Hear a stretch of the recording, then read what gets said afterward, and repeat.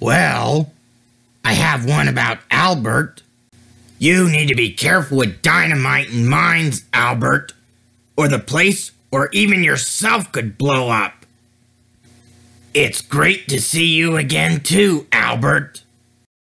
Every year, we hear the same stories over and over again.